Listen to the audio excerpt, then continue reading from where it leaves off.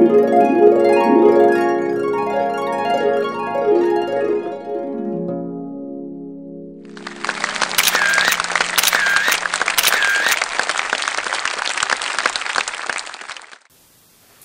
zusammen in meiner italienischen, Schweizer und internationalen Küche. Heute machen wir was ganz Spezielles. Wir machen Arancini Siciliani. Ihr denkt, was ist das? Sind das Orangen? Nein, das sind Reiskugeln, eine Art auf Art, wie, in, wie man sie in Catania macht und eine, wie man sie in Palermo macht. Die zwei Städte sind Riesenrivalen und der Arancino Catanese ist männlich, hat auch eine Spitze, das werdet ihr sehen. Und die Arancina Palermitana aus Palermo, die ist rund. Und die Zutaten sind ähnlich, aber eben nicht ganz und sie schmecken eben unterschiedlich. Und die zwei streiten sich seit Ewigkeiten, äh, welches das Originalrezept ist. Ich muss sagen, mir schmecken beide. Mir schmeckte das aus Palermo ein bisschen besser, aber nur aus dem Grund, weil ich Tomatensauce nicht so gut ertrage. Ich habe Rheuma und da sollte man Tomaten und Tomatensauce und so eigentlich vermeiden. Und weil man beim Arancina Palermitana braucht man ja Safran für in den Reis, das hat mir gut geschmeckt. Und zudem habe ich ein, nicht ein Maschinchen, so ein Plastikteil geschenkt gekriegt von meinem Mann zu Weihnachten, das zeige ich euch gleich. Und mit dem kann man super gut die Aranci, den Arancino formen und also das Teil habe ich auch gebraucht, um die Aranci, la Arancina zu machen, das weibliche. Weil der Arancino Catanese hat ja eine Spitze und wenn ich das, die Aranci, das Arancina Palermitano machte, habe ich einfach dann alles zusammengedrückt und eine Kugel geformt. Ihr werdet es sehen, es ist ein bisschen verrücktes Rezept. Es geht um die Rivalität zweier Städte. Übrigens, in Trapani macht man das, den Arancino oder der Arancina wieder anders und in Messina auch. Aber die Hauptdarsteller hier sind jetzt Catania und Palermo. Ich grüße euch alle Sizilianer. Ich hoffe, ihr werdet nicht böse, wenn es nicht 100% ganz genau ist, so wie ihr es zu Hause gewohnt seid. Aber ich habe gesehen, dass jede Familie macht es wieder ein bisschen anders. He? Und ich habe mich bemüht, wirklich das Rezept so originaltreu wie möglich beizubehalten und es euch auch zu erklären, weil selbst viele Italiener wissen das nicht. Okay, tschüss zusammen. Viel Spaß, tschüss! Also Leute, das ist ein Arancinotto, den kann man auf Amazon finden und der wird in Sizilien gemacht. Ich finde doch wichtig, dass man das unterstützt. Das ist ein Arancino, Arancino Slim Apunta, 160 Gramm. Aber wir fangen zuerst an, den Reis zu kochen. Ich habe von Scotti den Reis gekauft für Arancini, aber man kann auch Riso Roma oder anderen Reis nehmen. Dann habe ich Butter gebraucht, Bouillon gebraucht.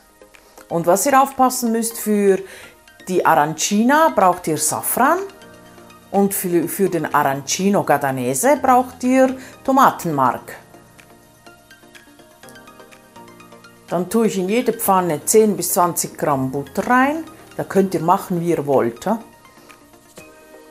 Und einfachheitshalber nehme ich immer die Tasse also eine Tasse für jeden Topf. Links haben wir äh, für, für, den Arancino Catanese und rechts ist für die Arancina Palermitana. Dann habe ich das kurz ein bisschen angedünstet. Müsst ihr aber nicht machen, braucht ihr nicht zu machen. Ich habe es jetzt nur so gemacht, einfachheitshalber, damit ich den Reis zuerst drin habe und nachher das Wasser hinzufüge. Dann Wasser dazu. Und das ist immer so, ein Teil Reis, zwei Teile Wasser. Also wenn ihr eine Tasse Reis braucht, müsst ihr zwei Tassen Wasser reintun.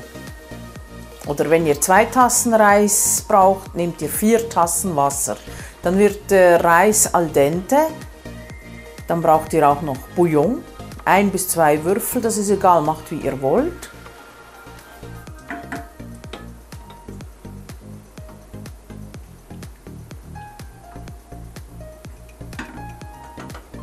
Und jetzt für den Reis, für den Arancino Catanese, zwei gehäufte Esslöffel Tomatenmark. Nochmal alles gut verrühren. Und wenn es dann kocht, dann tut ihr das Deckel drauf und tut es auf die kleinste Flamme gar kochen lassen, bis alles Wasser aufgesaugt ist. So wenig wie möglich drin rühren, ab und zu schon gucken, nicht dass anbrennt. Aber einfach auf der kleinsten Flamme dann kochen lassen. Das dauert etwa 20 Minuten bis halbe Stunde. Dann stellt ihr ab und dann tun wir erst den Safran für die Arancina Palermitana rein. Immer erst danach, weil ich habe das so gesehen, dass so viele Leute das am Anfang schon ins Wasser tun und das ist jammerschade für den Safran. Da macht man ja den Geschmack des Safrans mehr oder weniger kaputt und Safran ist doch ein Luxusgewürz. Das sollte man auch etwas mit Respekt umgehen. Ha?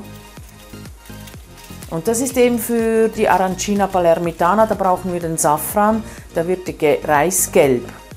Und der klebt auch nicht so. Dieser Kleib Reis ist dann nicht so klebrig wie der äh, Reis für den Arancino Catanese. Und jetzt muss man den Reis kühl stellen. Ich habe das im Januar gekocht und das konnte ich gut rausstellen, es war ja kalt. Jetzt machen wir die Tomatensauce. Da brauchen wir Olivenöl, Salz,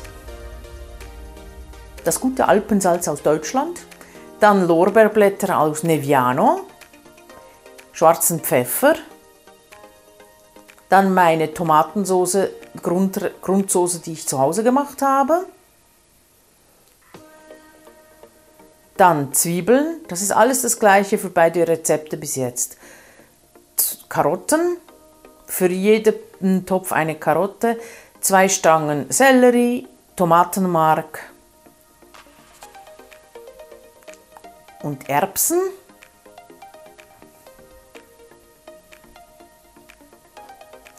Dann für das Arancina brauchen wir Rinderhackfleisch und für den Arancino Catanese Hackfleisch halb halb und ein Schweinekotelett. Eigentlich sollte man auch noch Rinderfleisch haben, das man in Stücke schneidet, weil ein Arancino Catanese hat immer Stücke Fleisch drin. Das geht nicht nur Hackfleisch, das ist unmöglich. Aber wir fangen an mit dem, was beide Soßen gleich haben, nämlich mit dem Gemüse klein schnibbeln und klein hacken. Ich habe es durch die Maschine gejagt, das war am einfachsten. Den Sofrito machen mit äh, Sellerie, Karotte und Zwiebeln. Das ist ja für beide gleich. Ja? Und ich habe mich da wirklich abgequält auf Google, im Internet und auf YouTube, dass ich so nah ran wie möglich ans Rezept komme, ans Originalrezept, was auch immer original ist. Ich weiß nicht, welches Rezept älter ist, welches dem Original, was auch immer das bedeuten soll, entspricht, weil die zwei Städte streiten sich ja. Der eine sagt, er sei das Original und der andere sagt, das sei das Original. Auch mit der Form. Okay, dann hacken wir alles klein. Mein Mann hat natürlich geschimpft, dass ich wieder zu viel Gemüse reingemacht habe. Aber die Maschine hat es ja geschafft. Fast ganz. Und dann tun wir mal schön Öl, Olivenöl in die Pfanne. In die Schmorpfanne. Weil da streite ich mich auch immer mit meinem Mann. Der Deutsche, der hat da andere Ausdrücke als ein, ein, ein Schweizer. Ich sage einfach Pfanne oder Bratpfanne höchstens noch. Und er, wir, wir haben immer Konflikte damit. Aber gut, Öl in die Pfanne und dann tun wir die Hälfte von dem Gemüse einerlei in die eine Pfanne und die andere Hälfte in die andere Pfanne. Übrigens, äh, links ist für, die, für den Arancino Catanese, also die, Catania, die Soße für Catania, für den Arancino Catanese und rechts ist für die Arancina Palermitana. Also links machen wir die Soße für, machen wir die Paler für Palermo, die Soße und äh, nee, re rechts für Palermo, links für Catania. Tun wir das etwas andünsten.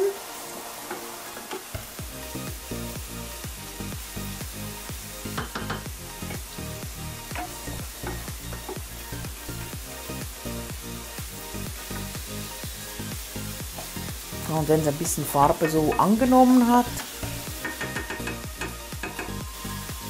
das ist das Händchen meines Mannes gewesen, dann tun wir in die Soße für Palermo tun wir das Rinderhackfleisch.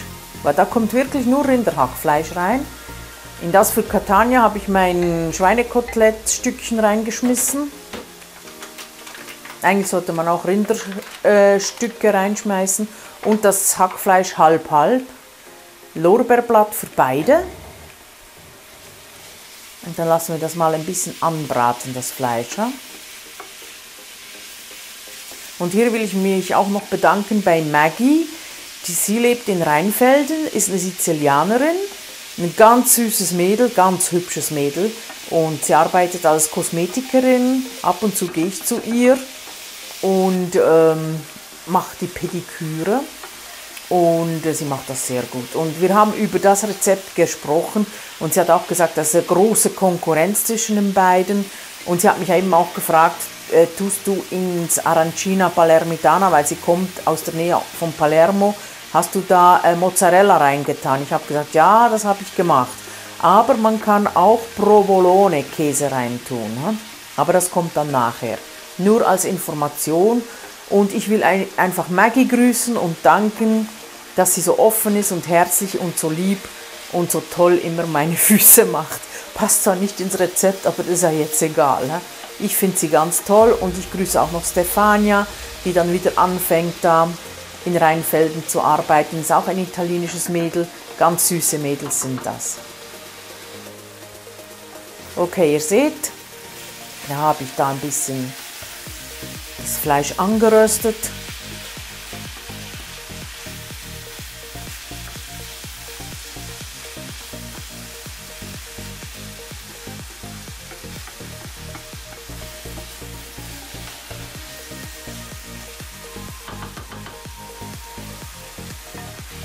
Der mit dem Halb-Halb-Hack für Catania und den Schweinefleischstückchen vom Kotelett auch. Und es braucht also nicht länger, also beide Soßen brauchen etwa gleich lang. Weil Schweinefleisch ist schnell nochmal durch, auch wenn es Stückchen sind.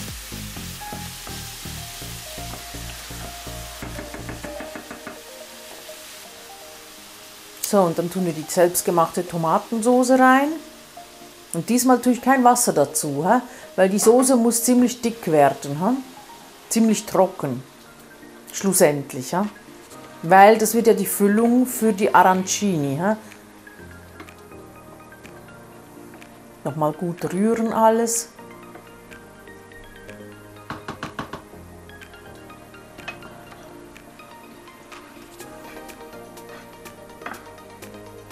Und es war auch viel zu viel für die paar Arancinis, die ich machte. Dann noch Tomatenmark dazu, einen guten Esslöffel. Aber ihr könnt den Rest brauchen für zu Spaghetti essen. Ich habe es gebraucht, um Ravioli zu füllen. Das zeige ich euch ein anderes Mal.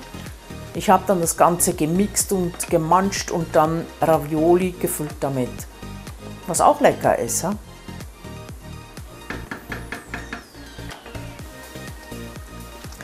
Dann für jeden Topf einen Teelöffel Pfeffer und anderthalb Teelöffel Salz.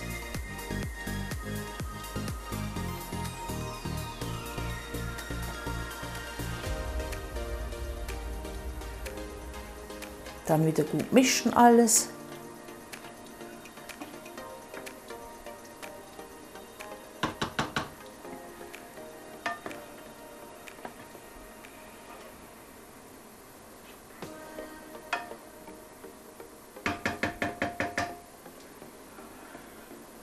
Dann Deckel drauf und auf kleine Flamme ein bis zwei Stunden kochen lassen. Ja?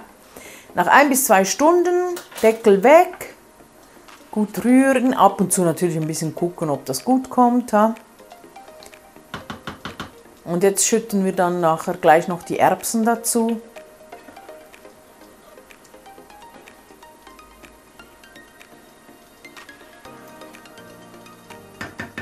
Ich habe pro Topf so 30 bis 40 Gramm Erbsen dazu geschmissen. Ihr könnt mehr oder weniger machen, macht wie ihr wollt.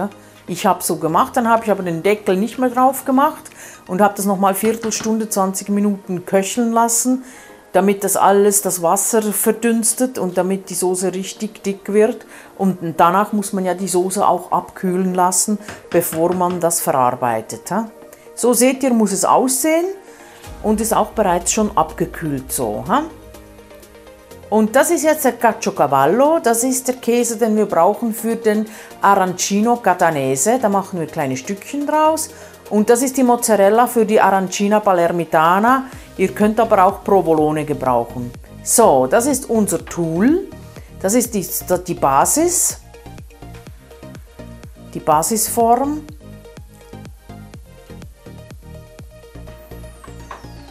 Dann hier ist der Deckel. Den braucht man. Man muss es ganz genau äh, so gebrauchen, wie ich es zeige, sonst funktioniert es nicht. Und das ist der, wie sagt man, soll ich dem sagen, Stampfer, Stempel.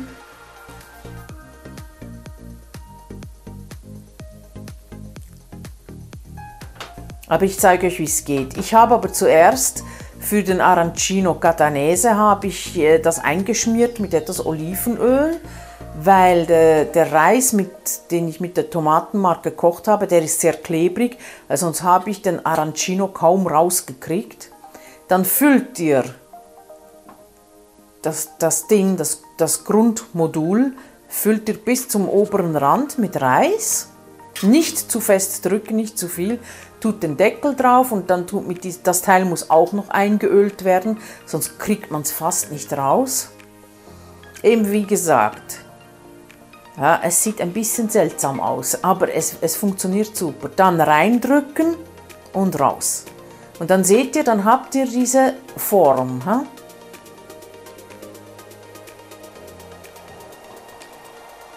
Und dann füllen wir es mit Hackfleisch und weil das ja das aus Catania ist, sind ja die Schweinefleischstückchen drin. Macht, dass mindestens ein Stückchen drin ist.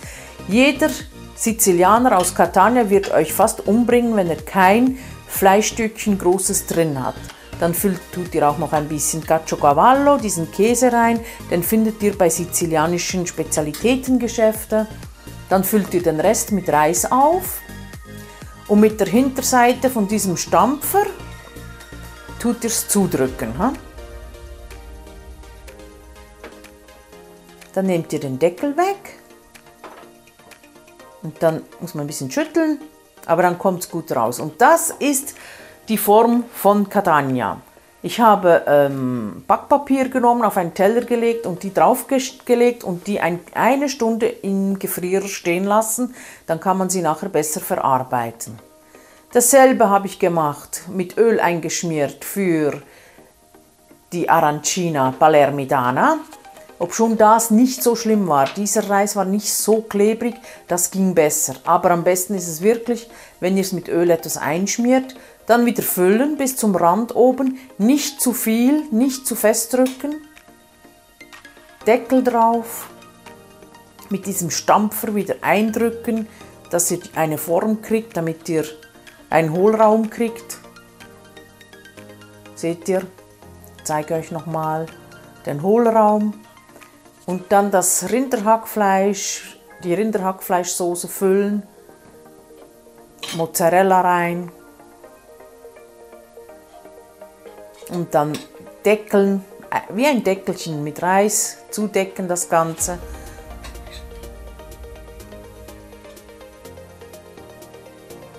Und dann mit dem Stempel Hinterseite drauf und reindrücken. Ha?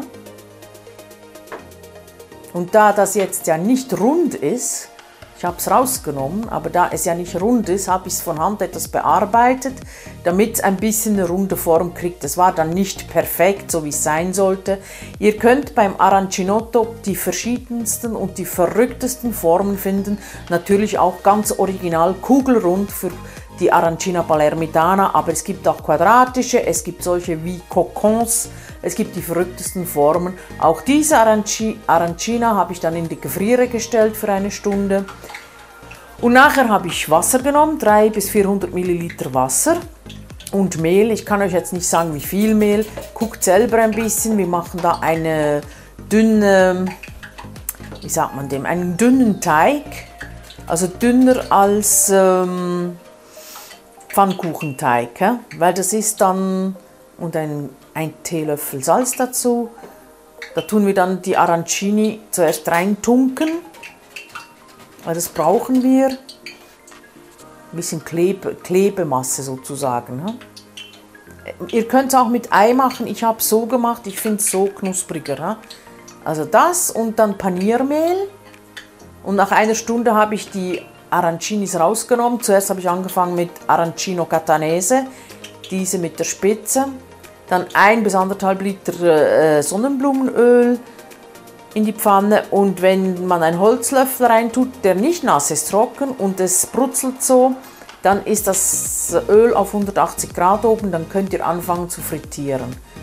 Dann tunken wir den Arancino Catanese in diesen Teig, in diesen dünnen. Und dann wenden wir das Teil in Paniermehl. Wenn man noch jemand hätte, der geholfen hätte, wäre es idealer gewesen. Aber mein Mann kann gut essen, nur kochen kann der nicht. Und dann kann man das Ganze frittieren. Und tut nicht mehr als zwei Arancinis gleichzeitig frittieren, maximal. Und braucht etwa drei bis fünf Minuten, je nachdem wie dunkel ihr es haben wollt.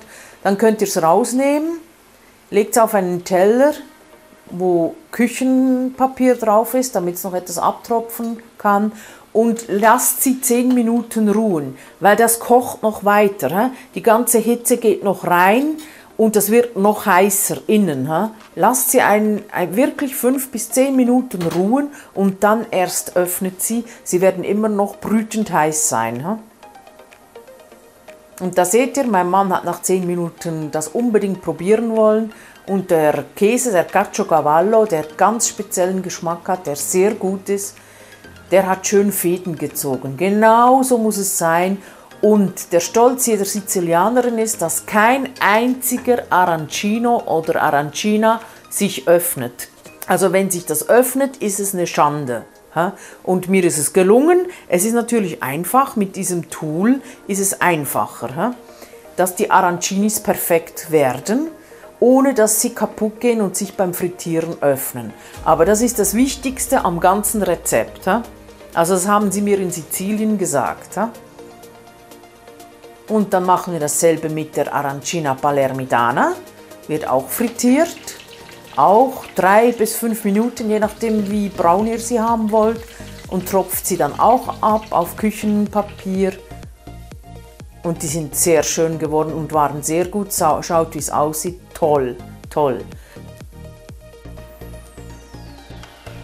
Also, hat es euch gefallen? Gebt mir ein Like. Ich wünsche euch viel Vergnügen beim Nachkochen. Tschüss zusammen. Ciao, ciao.